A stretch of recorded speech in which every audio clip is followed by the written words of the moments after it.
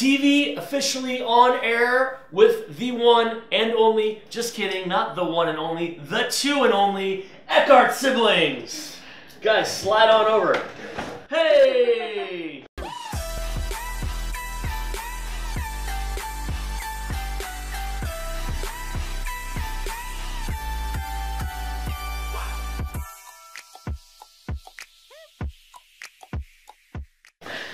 Alex and Alana Eckhart are here in the studio in New York City. They've journeyed 3,122 miles from sunny California to join us today. Alex, Alana, real pleasure to have you on. B T. V. It's just the thing. well, real pleasure to have you guys on BTV. Thank you for coming.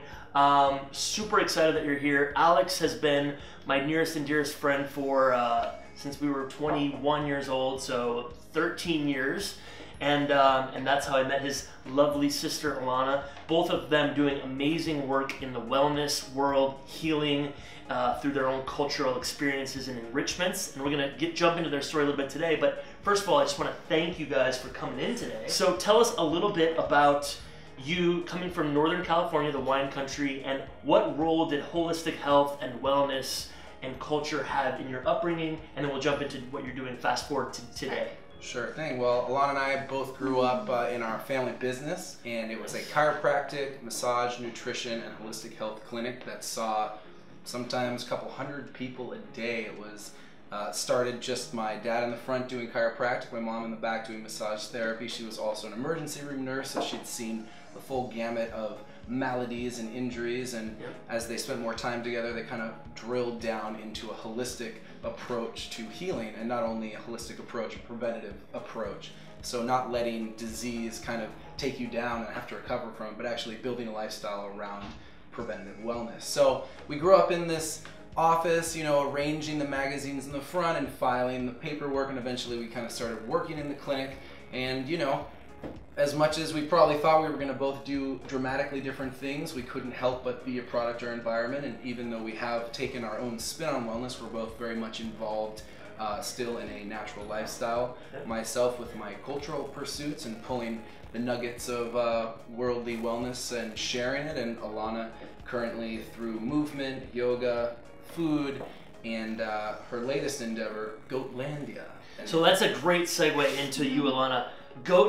Goatlandia to our audiences. So, Alana, without further ado, tell us what Well, is Goatlandia? As the is your role? spokesperson here at, at For Goatlandia, um, we do a lot of things. We do a lot of different things. My main role at Goatlandia, personally, is um, I would say goat yoga is a really big, big part of what So we tell do. us what Goatlandia is first. Goatlandia is a farm animal sanctuary, so we rescue farm animals who would otherwise be slaughtered for no reason. Maybe they have a buck tooth or an extra udder, or maybe they're just not well enough to show. Maybe they're born with a defect.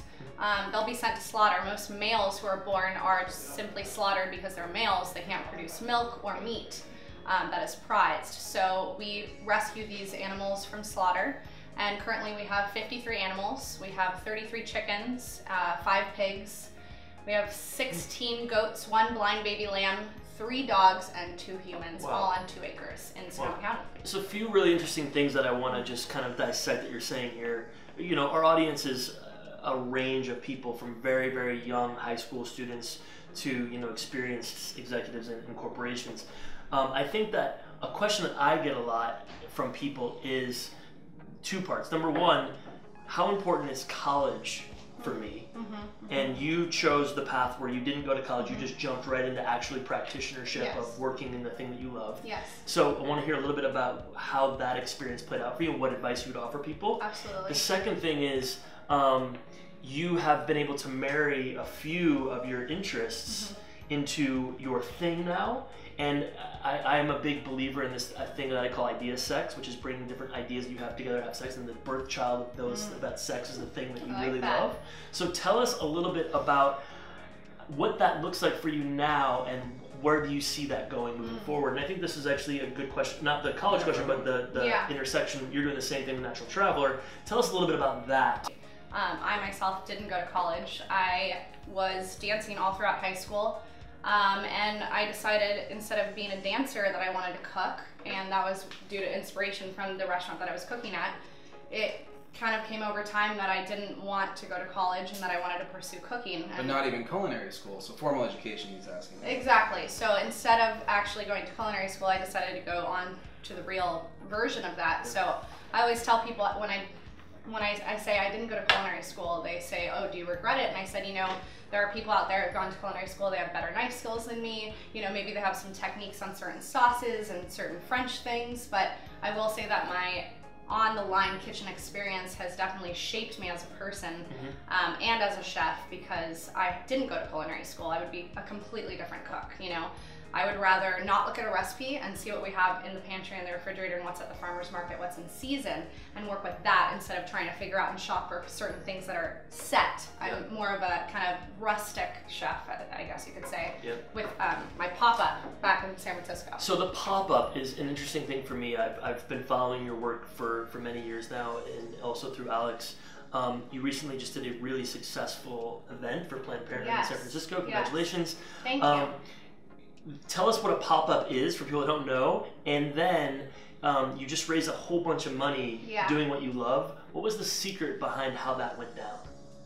The secret was support from so many people. People coming together for one thing, one cause, and that's just to help people who are in need right now.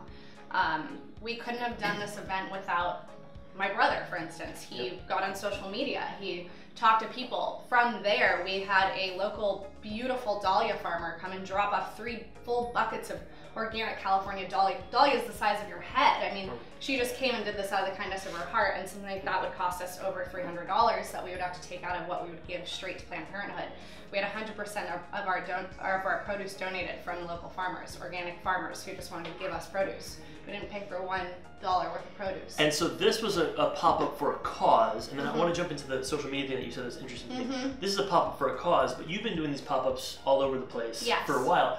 How difficult, like if I'm a chef and I want to do that, Mm-hmm. what are some tips that you would give me? How, how difficult is it to do that? What are Mm-hmm. your tips for success to actually monetize that skill for yourself? Yeah, that's a good question. We get that a lot actually. My business partner, Gracie Schatz, who's back in California right now. So uh, her and I kind of came up with the idea on a whim. She was a butcher at a all-female run butcher shop up in Bernal Heights in San Francisco, and there was an extra room called the Udder Room, U-D-D-E-R. Um, and we went in there. There's 25 seats in a beautiful fireplace Yep. right attached to the um, kitchen of this butcher shop, and we had this idea that sparked, hey, this room isn't being used. What do we do? Can we do something in it? So from there, we kind of started our pop-ups, and we realized that we could do that anywhere. And if you make these connections with people who are open to new things, that it actually brings business to where they are. To the, the piece that you said about social media, Alex jumping on social Yeah. Um, Alex, I saw your post about the pop up. I, I know that it led to some sponsorship and donations. How do you, what is your view right now as someone who is beginning on this natural traveler trajectory where you're influencing people? Um, and it's funny because you have 700, I think, 13 followers on Instagram today, which is gonna, or maybe less. Doesn't matter. The point is this: I see the stuff that you post and people are interacting. How do you, as someone who is into the holistic wellness cultural world, which in large part depends on being out in the world, right, and being present with being out in the world, how do you reconcile technology's place in that advancement of your mission? Sure. Well, I'd say that one of the themes that run through that runs through my feed is using that technology to educate people, to inspire them to do things without the phone. Yeah. And for example, I had a couple interns this summer helping me out with the Natural Traveler, and we would take breaks to go outside and take our shoes off and ground in the earth. But we wouldn't only do that, but we'd post about it and talk about Yeah. it. And I even saw you were inspired. to I post, earthed and, because uh, of you. so we try, did. yeah, we try and do that in as many ways as we can, and um, just trying to think, you know, what I kind of said in my, uh, the video post I did for Alana's pop up recently was that as much as I love being entertained on social media, my absolute favorite part of these platforms is our ability to do what Alana was just doing for the last five, ten minutes, which was talk about all these incredible projects and incredible people Yep. that come together to make things happen Yep. and just using the leverage of this expansive network that grows every day is what pushes me to pull myself out of a natural world that I work really hard to create. I mean, it's sometimes really hard to pull yourself from the moment, but I know it's for a greater purpose, and I know that it's my opportunity to touch more than the person that I'm with, which I do try and stay present in doing. Yep. But I think that's just kind of a part of our modern, modern struggle. And uh, but again, I'm always thinking of that bigger purpose and that bigger picture, which is that perhaps my content will pull someone out of a hunched, postured, semi low energy moment and say, you know what, I'm gonna go do that. I'm gonna go pick a piece of fruit and I'm going to peel with my eyes closed and I'm going to, you know, do something weird that pulls you out of your everyday environment. Guys, we need to start peeling fruit with our eyes closed every morning. That needs to become Using part of our morning senses. thing. Little exercise that I did one morning. I went to the window. It was so bright. I just wanted to close my eyes, but at the same time, I wanted to open this orange. So I close my eyes. I'm opening the orange, and I'm feeling the vibration of the pith pulling from the fruit, and I'm smelling the oils in the air. And I was like, nice. "Wow, this is a sensory experience that I wouldn't have otherwise." you know, experienced had this moment not happened. I wanted to share it. And, you know, believe it or not, a couple people actually said, hey, I tried that. And I guess that's what I'm looking to do is to get people to try new things because that's what drives me and that's what my entire kind of mission in life is, is to find, find new things, always be learning and share those things. And I don't think that we'll ever run out of new things to mm-hmm. find because new things are being created every day, like the closed-eyed orange opening ritual. So don't forget about that. the this you've done now i mean you've basically been uh, first of all let me just say how i met this character um, we were both studying abroad in florence italy and i did this thing called scambio di conversazione which means conversation exchange where you teach someone english for an hour and they teach you italian for an hour and i was secretly hoping to like meet a really beautiful italian woman and, like, I think we in both were. Yeah, and then um, that didn't happen. I got like this like crazy hipster like rock star. Like everything was black, like black, so many piercings. It was crazy. I loved her. She was amazing. Roxana was her name. And Roxana had a friend named Julia, and Roxana says, "Hey, I'm gonna, I'm gonna introduce you to my friend Julia. We're gonna go to a cafe." And I was like, "Perfect." So I go I to this want to pick cafe. up here Yeah. because the story started six months previous, where, like Brian, I was seeking something additional than just kind of like the surface level experience. So we went, I remember it was like kind of a wrinkled paper on a cork board in a random language Yeah. building. It was like Scambio di conversazione, let meet an Italian, teach them English. So I sign up, and I was partnered with a girl named Julia, who, like Brian said, was a hard rock metalhead. And, you know, she was amazing and we you know became great friends and we spent the first semester meeting at church steps and by the river and having these great chats and then towards the end of the semester she said my friend really wants to have a partner too you know can one of your friends come and i was like well semester is ending i think you have to go through the school like maybe next semester so i never thought of it but then beginning of that next semester she's like hey my friend found someone at your school let's all meet up so shall i continue Yeah, continue. so I didn't, I didn't know that part about she was uh, she had been looking before. Within the first week of school, uh, I go to meet them at the bookstore where we met, Bookstore Cafe. So it was myself, Julia, and her friend, and we get into this really great conversation. Granted, I'm already a semester in, so my Italian's pretty good. It's really good. I've been It was focusing. really really good. I really wanted to differentiate myself from all the other foreign students that were, uh, you know, maybe partying a little bit more than they were studying, which is fine. But I was really obsessed with with uh, this language immersion. So the three of us are having a great chat, and up walks Mr. Brian. and rather than kind of all stop speaking Italian speaking English, we just continue in Italian. And I don't think Brian knew that uh, Julia's friend was bringing someone. I think she just thought. I think you just thought. Uh, just- yeah. yeah. So we're speaking Italian.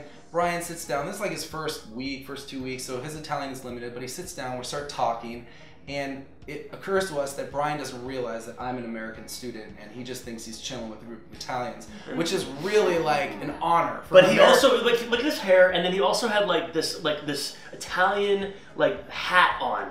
He looked super. You know, I was Italian, in it. Hat? bro. I've never It was a that. fascia. It was, was like a a little fascia. bandana Oh, thing. okay. Don't worry about it. They sold them in the markets. fascia. Long story short, because I think we have a couple other surprises on the show today. We uh, basically just get into this conversation where Brian starts asking me a little bit about myself. Did you pretend that you're Yeah, I was Yeah, just like, I'm like a local time. student from Yeah, yeah. Florence, and I love rock, and we're all just talking and laughing. We're interviewing Brian. I have no idea like half the shit he's saying. But no you know, I'm starting to take a liking to the guy, and I'm like, I really admire this guy's, you know, ability to seek these opportunities out. I was starting to feel bad. So about 10 minutes later, I just kind of turned and was like, He goes, literally, he goes, bro, I'm from San Francisco. I was like, I'm sorry. I hate. I, I, I lying is not something I do well or aspire to do well.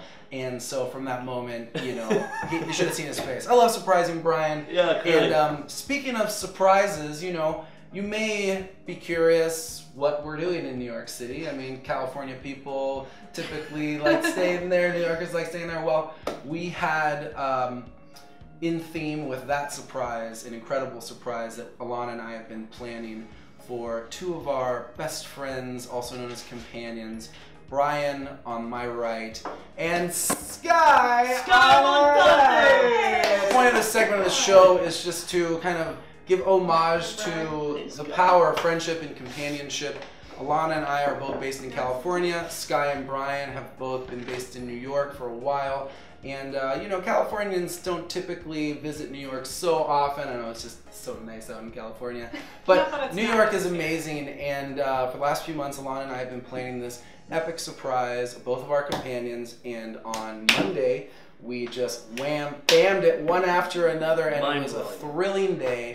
and uh, we're so happy to all be together. We've been linking up for many years, and uh, to kind of bring this together in a moment, uh, as Brian has said, with the Natural Traveler, we like to incorporate ritual, and nothing brings people together like food. Alex, So- before you do the food thing, can I put on the uh, National Yes, Traveler so on gift? our last shoot down in Ecuador, South America, we were in the Andean market of Otavalo, where some of the most colorful and vibrant weave, uh, woven items of clothing are found. Put this on her. And uh, nothing screamed Brian Rashid more than this purple and pink um, Too true. chompa type sweater. I love it.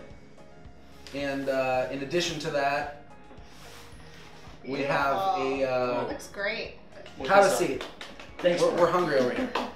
Okay, And, so back um, to the surprise of the food. Yes. So, you know, um, Alana and I, Alana being the culinarian that she is, and me being the uh, tag along. No, I love to eat as well. He's an amazing cook. Thank you. Um, we came across something called babka. Babka. And rather than us speak on it, we thought we'd have uh, soon to be world renowned speaker Santa Victorio come and tell us what she's learned about this New York standard. So come on in, and why don't you tell us what you found out about the babka? Hey guys, what's up? I found out so much about babka. Number one, and probably most important, is that it means little grandma in Eastern Yiddish, in Love Ukrainian, and in Russian. So shout out to all the little grandmas out there who love to cook babka and who Thank love you. to eat it. We wouldn't have it without you guys. And you guys probably know babka from Seinfeld, from Orphan Black, but most importantly from all the Jewish um, Delis. Yeah, delis. We want to give a shout out to where we got this too. Yeah, Of course. give it a shout out. So uh, yeah, we just happened to be Wow, that was placed in the Polish neighborhood of Greenpoint with our good friend Sonia, and Love she you, said, Sonia. "Make sure, make sure you get over to Frank Frankel's." Well, she didn't talk like that at all. She's actually very cool and does not talk like a leprechaun. But if she But- was a little Jewish babka, she would. Alana, why don't you uh, slice this? okay. Uh, Sanjay, will you have some almond milk for us, don't you? You know, this wouldn't be a natural traveler uh, shoot without some nut milk.